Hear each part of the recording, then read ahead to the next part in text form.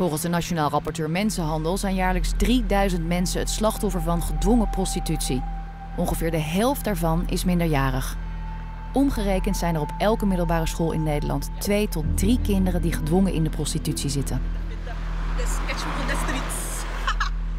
Oulaya is een van die slachtoffers. Ze was pas 13 toen ze in handen viel van een pooier en voor hem klanten moest afwerken.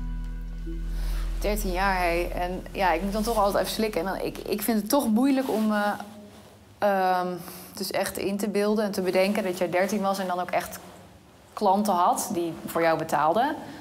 En die zagen heus wel dat jij geen 18 was. Ja, maar ik loog altijd over mijn leeftijd toen ik altijd 16 was. En dat vonden ze dan. Ja, dat we, kijk, weet je, mannen houden ze zoveel jonge meisjes, snap je? Dus iemand komt daar gewoon om te neuken en weg te gaan. Dat bo- boeit hem niet. eh, of diegene nou echt 21 plus is, of diegene nou. eh, Ja. Tja.